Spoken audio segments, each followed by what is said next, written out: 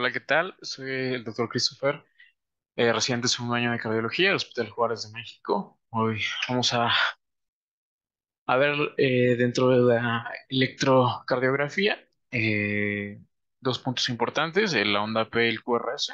Primero vamos a empezar a ver la onda P.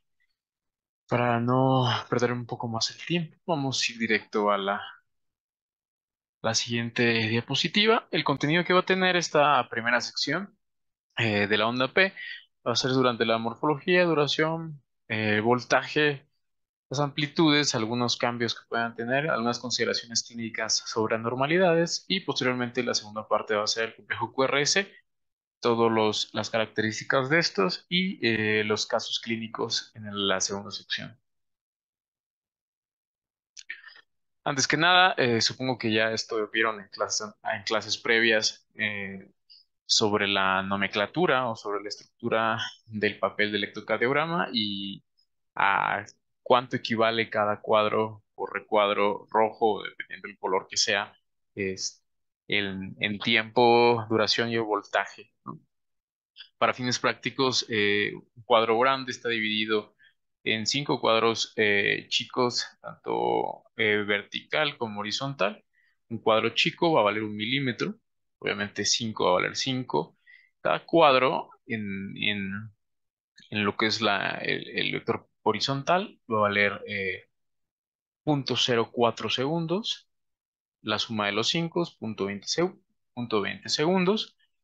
Esto es hablando en segundos. En muchas eh, literaturas que van a ir encontrando, y yo les recomendaría que mejor se lo aprendieran de este modo, es que esto eh, básicamente convertirlo a milisegundos, ¿sale? Es únicamente mover el, punto en tres ceros y básicamente esto es equivalente a 40 milisegundos y esto pues a 200 milisegundos. Entonces va a ser para fines prácticos es bastante eh, mejor aprendérselo así, ya que la, literatura que ustedes lean conforme eh, van avanzando en medicina eh, va a ser más sobre milisegundos que en segundos. Y eh, por último, obviamente esto, eh, eh, el milímetro que está aquí, normalmente van a ver cuando calibran el electrocardiograma, van a encontrar que un milímetro es, igual a punto un milivolt y pues, la combinación de dos cuadros grandes van a convertir el milivolt entero. Entonces es sumamente importante para medir el voltaje o amplitud de las ondas que vamos a medir. Bien, para iniciar la onda P, eh, encontramos como generalidades un pequeño repaso rápido sobre la historia. Y sabemos que Einthoven eh, eh, publicó su primer libro aproximadamente a mediados del siglo XIX, ya para el XX.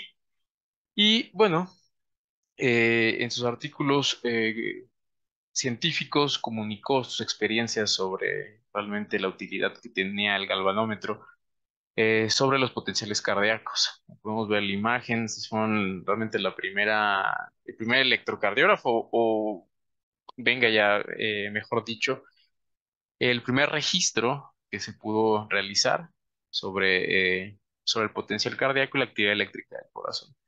Cinco años más tarde escribiría a detalles las aplicaciones clínicas del electro en un artículo titulado de esta manera, en 1906. Y eh, bueno, los trabajos de, de eh, ya sabemos, eh, merecedor del Premio Nobel de Medicina en, el, en, en 1924. Y esto es lo que, lo que registró su máquina, básicamente. para fines prácticos, la nomenclatura de las letras realmente no fue algo intencional, realmente lo colocó porque creía que previamente o posterior a estas letras podrían encontrar nuevas ondas que él no pudo ver en ese momento. Eh, así no tienen eh, realmente algún significado o, algún eh, correlación entre las letras versus los las ondas y la significancia clínica de estas ni fisiológica. ya sabemos que la P es la despolarización eh, o activación eh, auricular, complejo QRS es polarización ventricular y así sucesivamente como ya sabemos. Y entrando al tema, la activación auricular.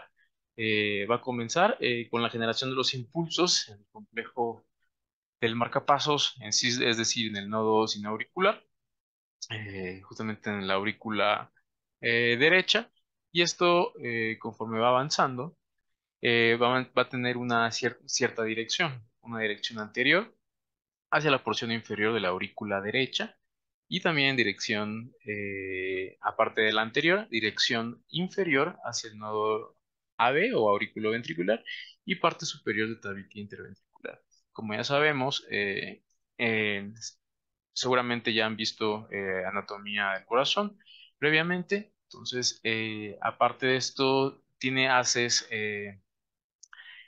intranodales respecto al inicio del nodo sinusal y al nodo auriculoventricular. Uno muy importante es el, el, el, haz o el, conducto bueno, propiamente, propiamente dicho, las de conducción este, de Bachmann, que justamente va a transferir la, la, venga ya la, el impulso eléctrico de la aurícula hacia el resto de las estructuras.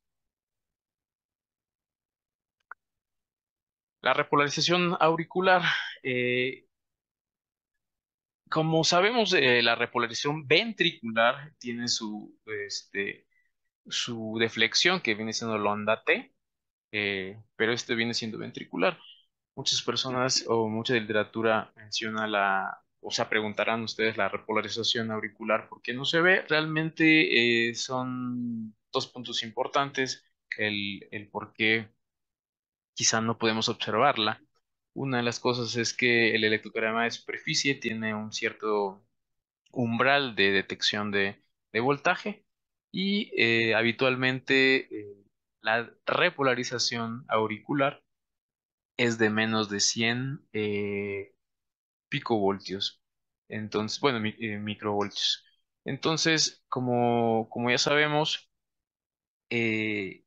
las mediciones que hace el electrocardiograma tienen ciertas medidas y realmente lo que vemos nosotros son milivoltios. Si recordarán un cuadrito que habíamos mencionado al principio, un cuadro eh, chico de estos, equivale a un milímetro, pero también es equivalente a punto un eh, milivolt. En caso para convertirlo en microvolt, tenemos que dividirlo entre mil. Entonces es prácticamente eh, indetectable para, para el registro electrocardiográfico de hoy en día. Y esa es una parte, otra parte puede, eh, eh, otra parte posible es que justamente la repolarización sucede entre el complejo QRS. Obviamente el complejo QRS tiene un voltaje mucho mayor, incluso es, el voltaje que mayor, la deflexión que tiene mayor voltaje en, todo lo, en todas las ondas del complejo del ciclo cardíaco. Y bueno, están sobrepuestas y estos son los dos grandes criterios o grandes este, características de por qué eh, no se observa la repolarización auricular.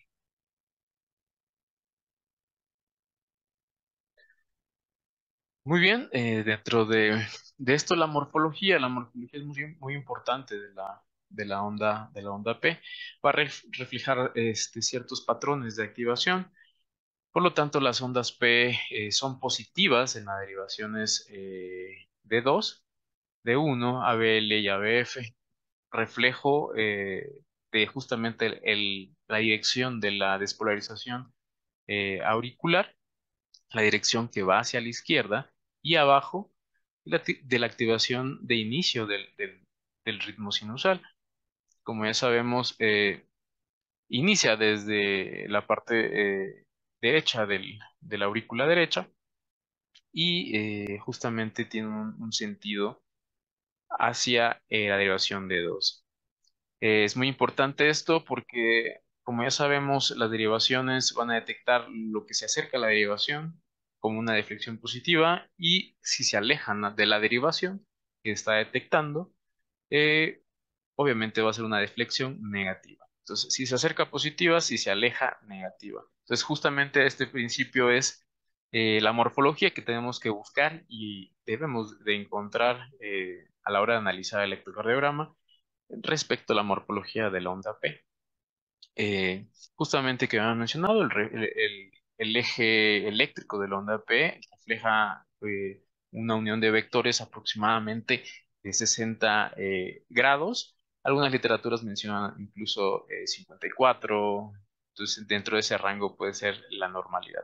Después, eh, posteriormente en las siguientes diapositivas, vamos a tocar los criterios y los rangos de normalidad. Y bien, en la derivación B1, eh, como podemos ver, eh, el corazón en este sentido, la derivación B1 ve exactamente aproximado perpendicular al corazón. Entonces, vemos, y ocasionalmente en B2, justamente en, lo que viene siendo en la área de, las aurículas, esta zona sería ventrículo, eh, vamos a encontrar una deflexión positiva al principio en estas dos derivaciones y podemos encontrar también una deflexión negativa justamente a ese, eh, a ese ángulo de la, de la derivación B1 y B2 respecto a las aurículas, que ven que se acerca, pero también ven que se aleja. Dentro de las morfologías que hay en la onda P, la verdad es que esta diapositiva es bastante eh, importante de, aprender porque son las distintas eh, anormalidades y normalidades que podemos encontrar eh, en la forma de la, de la onda P. Como ya hemos visto acá, onda T positiva, negativa, dependiendo de dónde la encontremos. La difásica, justamente este, esta nomenclatura es bastante importante que lo aprendan porque en la descripción del electro eh, plasmado en el, en el papel tenemos que colocarlo así, eh, más, más, menos. Justamente esto es específicamente en la derivación B1. Menos, menos, esto es eh, dentro de lo que cabe la normalidad. Más, menos, menos es una morfología, tiende a, ser patológica. Posteriormente vamos a ver la eh, los criterios para, para normar es que están fuera de límites normales y menos más, ¿no? Una picuda, eh, hay otros eh, tipos de nomenclaturas de la picuda, también una, pulmón, una P pulmonar, vamos a tocar este punto más adelante, y la bífida, básicamente. También hay unas estructuras morfológicas semejantes que tienen nombres específicos, como por ejemplo esta onda P bífida eh, tiende más a, llamarse en, la clínica como una, una P mitral. Vamos a ver también en qué derivaciones. Y bueno, aquí podemos ver también las distintas morfologías que habíamos mencionado, en este bífido bimodal. Y en las derivaciones eh, D2 y B1 encontramos eh, su morfología normal. Lo normal es que en la versión de 2 esté una deflexión positiva. Existe también una ligera variación, como en, este sentido.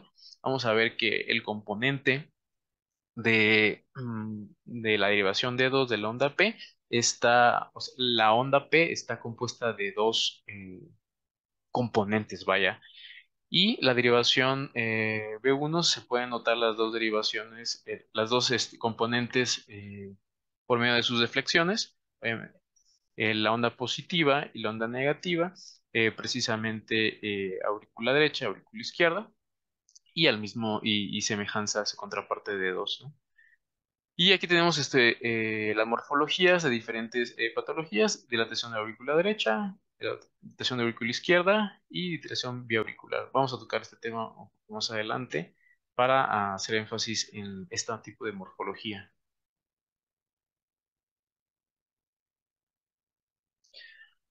Muy bien, en la morfología en D2, como ya les había mencionado, eh, la onda P, en este caso, está compuesta por dos eh, estructuras, digámoslo así, o, dos activaciones eh, respectivamente sobre la actividad auricular. En el, primer componente o el primer tiempo, digamos, si partiéramos la onda P a la mitad, encontramos la aurícula derecha se contrapone e inicia la segunda parte de la onda P como la aurícula izquierda. podemos ver aquí que la onda pen normal es de esta forma. Encontramos esta pequeña estructura, esta pequeña desviación, que justamente la onda P une los dos componentes auriculares, el derecho y el izquierdo. Encontramos que la normalidad en la, en la derivación B1 eh, justamente, justamente es eh, la onda P eh, isodifásica, un componente positivo y un componente negativo, propiamente dicho aurícula derecha, aurícula izquierda. Justamente podemos ver aquí en esta imagen de, de, B1 cómo está la deflexión positiva y negativa de, esta, de este componente eh, eh, de la aurícula. Y vamos a, la siguiente. Muy bien, en este electro, como podemos ver, justamente es un componente de, esto. Y podemos ver la positividad aquí en, en de 2 es eh, bastante importante, ya que aquí pareciera que fuera totalmente positiva, sin embargo, deben de analizar exhaustivamente las ondas para eh, normal y, describir la nomenclatura y la eh, morfología de las ondas. Positivo, negativo.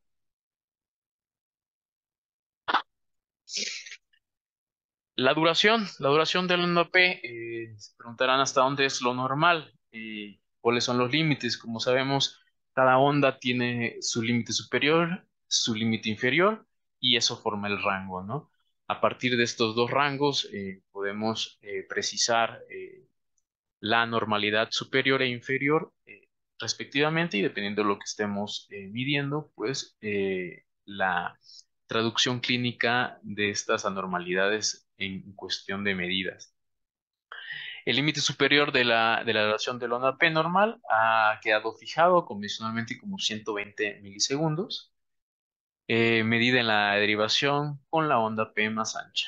Encontramos que la, la onda P tenemos de medir desde el inicio de la deflexión hasta la terminación de esta. Esto es en cuestión de la duración. Aquí vemos 120 segundos. Habíamos visto que 120 milisegundos se va, va a ver en los milisegundos, van a verse en, los demás eh, textos y 2.5 eh, milímetros, eh, eso es en cuestión de milímetros, eh, justamente del nadir o la línea isoeléctrica hasta el máxima deflexión positiva de la onda P. esto también podemos verlo como 0.25 milivolts, ¿sale?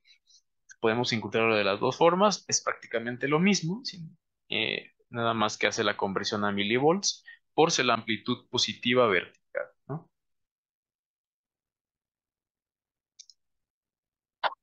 Muy bien. En cuestión de, de la amplitud, voltaje, eh, ya habíamos visto que eh, suele ser de inferior a 2.5 milivolts, lo que le comentaba en la diapositiva anterior. Y eh, justamente menor a un, a un milivol de profundidad, justamente en las derivaciones precordiales derechas. Para recordar las derivaciones precordiales derechas, básicamente son las dos derivaciones que habíamos mencionado, que ven o captan la despolarización exactamente casi perpendicularmente a las aurículas.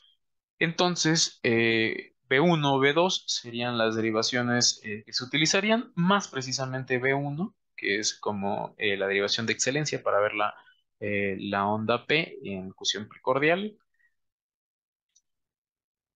Y bueno, a, medida de resumen, encontramos justamente los criterios de normalidad. aquí les puse un resumen de prácticamente los datos más importantes de, los criterios de la normalidad de la onda P. Eh, hablando de voltaje, justamente en cuestión vertical eh, del papel de electro, encontramos que tiene que tener menos de 2.5 milímetros, es decir, 0.25 milivolts, que es lo mismo en la derivación de 2. En este caso, eh, hablando de las precordiales, en hablando de B1, justamente el componente tanto derecho como izquierdo del, del componente de B1, si recuerdan la deflexión positiva y negativa que puede tener esto, tiene que ser menor a un milímetro. Y bien, la duración de, tiempo en, eh, en la onda P tiene que ser menor de 120 milisegundos o 0.12 segundos, que es lo mismo y es lo mismo que tres cuadros pequeños. Justamente es eh, lo que se deben de, de hacer relación para ir practicando y leyendo el electrocardiograma y hacerlo de manera más práctica y más rápida, sabiendo que tres cuadros son 120 milisegundos o 0.12 segundos. Entonces, eh, va a servir mucho para hacer rápidas mediciones y llegar al, diagnóstico de manera más, más, más rápida, ahorrando tiempo. La morfología de la, de, de la onda P en B1 tiene que ser positiva y negativa. ¿sale? Eh, justamente no lo, no lo puse en, este, en este caso, pero hay otra morfología también que, vale mucho la pena, es que en B1 puede ser positiva y negativa, como ya hemos mencionado, o puede ser negativa, ¿sale?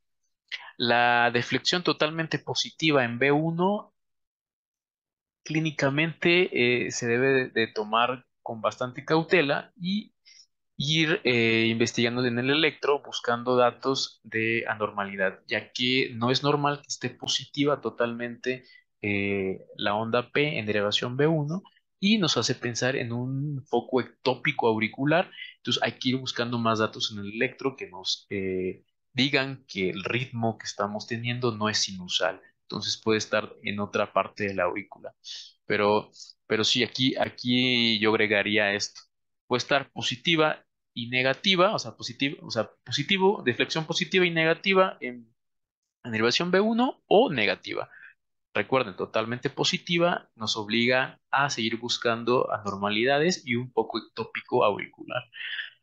Misma morfología en todas las ondas PES, quizá esto no, no, estén en muchos, eh, mucha literatura, pero eh, sin embargo es muy importante encontrar esto, ya que el ritmo sinusal debe tener la misma morfología en, todas las, eh, en todos los ciclos cardíacos, en todas las despolarizaciones eh, auriculares.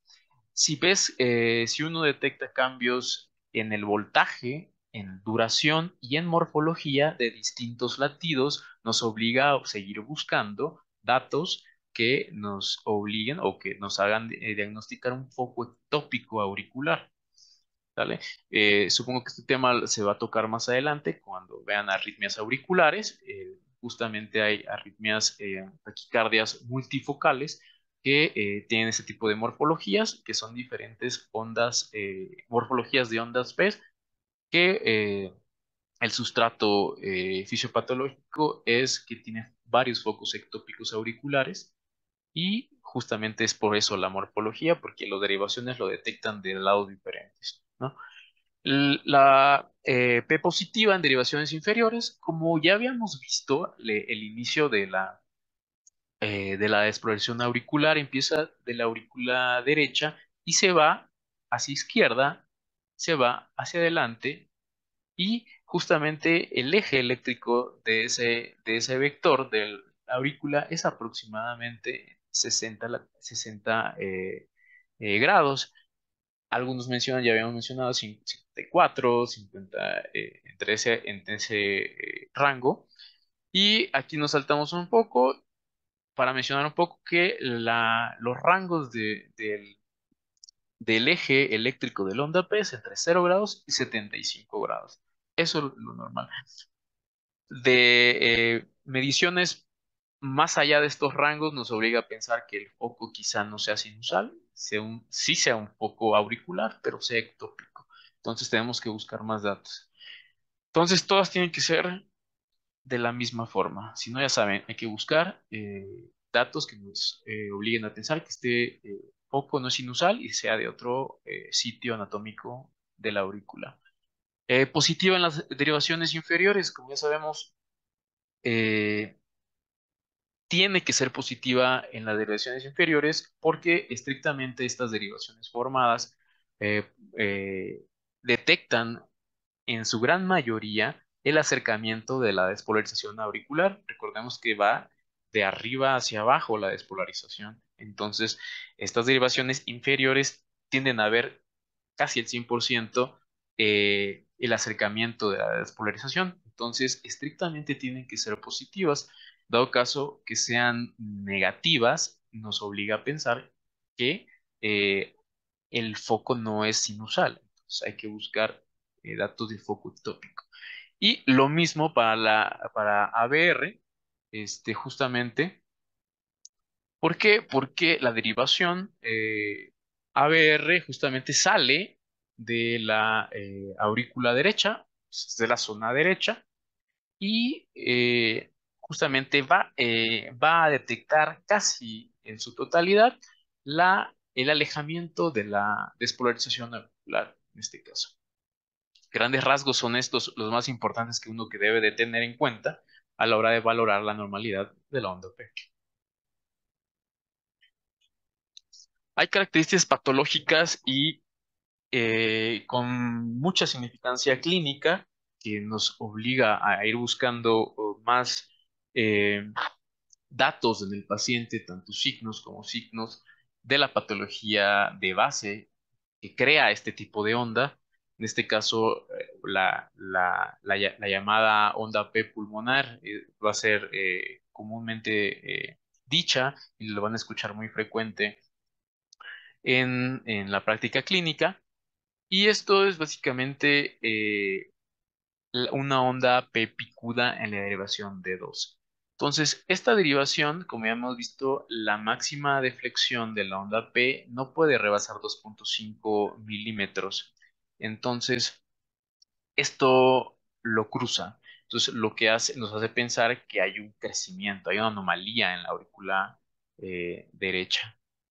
Entonces, encontramos aquí las, eh, justamente en este cuadro del Brangwell y los esquemas del, eh, libro del doctor Eric Alexanderson. ejemplifica muy, muy bien este tipo de anomalía y justamente nos hace ver eh, los límites superiores. Entonces, puntos, punto 25 milivolts. Aquí encontramos que básicamente 1, 2, 3. Recuerden, 3 milímetros, punto 3 supera el límite. Entonces, prácticamente ustedes, sin lugar a dudas, ustedes pueden describir esta onda como onda P, pulmonar o picuda. ¿tal? Entonces, eh, justamente son los criterios que, pueden tomar y nos hace pensar en patología adyacente, patología de base de, este, de, este, eh, de esta normalidad. Eh, como cual, como lo, más común, eh, hipertensión pulmonar, como ya sabemos, aumenta la presión del sistema pulmonar arterial, aumenta las presiones y va a generar mayor sobrecarga de la aurícula derecha eh, al final de todo, de todo este, este sistema. Al final de cuentas, poco a poco se va a tener que adaptarse la aurícula a estas presiones para tratar de reducir el estrés sobre su pared y se va a dilatar. Entonces, eh, justamente esto es lo que vamos a estar viendo. Otras, otras enfermedades relacionadas, eh, justamente no es la única pulmonar, enfermedades pulmonares congénitas, cardiopatías congénitas, estenosis pulmonar todas esas que nos obliguen a aumentar la presión de la aurícula y hacerla forzar a crecer.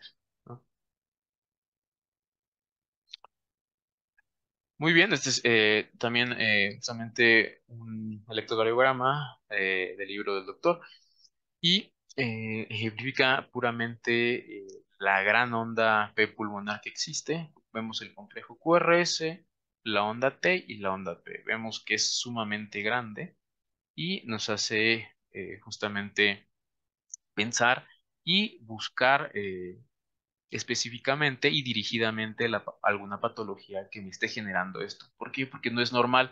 Una P jamás va a ser normal de esta magnitud, así que nos obliga a seguir buscando. En este caso, este paciente tenía hipertensión pulmonar.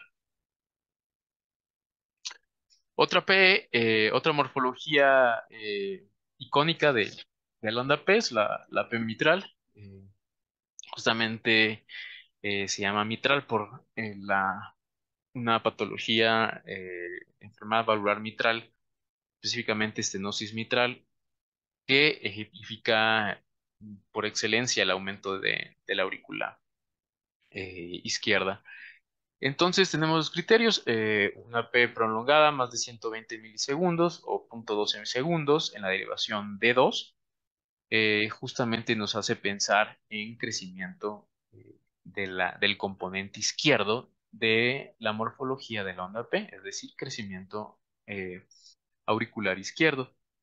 Encontramos también estos diferentes eh, criterios para, para poder realizar. Y aquí ah, hace mucho hincapié lo que habíamos mencionado antes sobre el eje. Entonces, el eje, como hayamos visto que tiene un vector principal a 60 grados, eh, sin embargo, el crecimiento de ese lado por la patología de base va a ser crecer y aumentar el vector de ese, de ese lado izquierdo. Por eso es que encontramos eh, el eje en medio de la onda P puede ser eh, entre menos 30 a menos 45 grados, yéndose para eh, el lado izquierdo.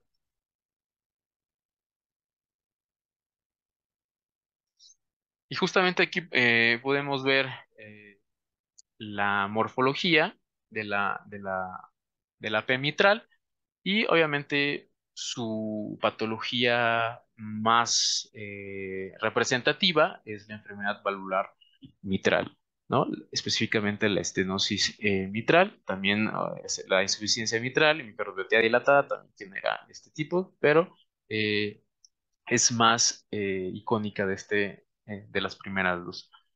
como vemos, el componente del lado derecho está básicamente dentro de los parámetros, sin embargo el componente izquierdo de auricular aumenta. Entonces, como aumenta, aumenta también en en duración. Entonces, justamente podemos ver aquí, a pesar de que el electro es un poco, eh, poco viejo, hace eh, bastante esquemático la forma de la, de la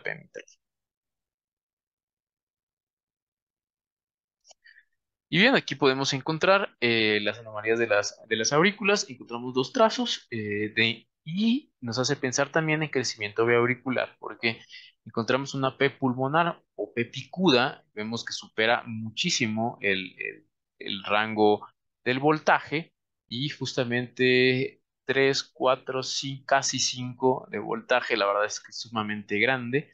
Y en B1, recuerden, positiva y negativa, pero también recordemos el criterio que no debe de exceder a un milímetro eh, de voltaje tanto como positivo como negativo, la deflexión.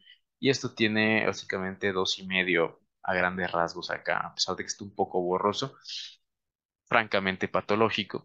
Esto nos hace pensar en patología auricular derecha, patología auricular izquierda. Dado caso que encuentren esta combinación, sin duda pueden decir que hay patología, hay anomalía de, eh, auricular eh, de, ambas, de ambas aurículas. Y bien, este, vamos a, a detener el video y eh, vamos a, a, descansar un poco y vemos el otro componente que va a ser el QRS eh, en otro video. Ya con posteriormente viendo esto, los eh, casos clínicos y concluimos con esta sección. Muchas gracias.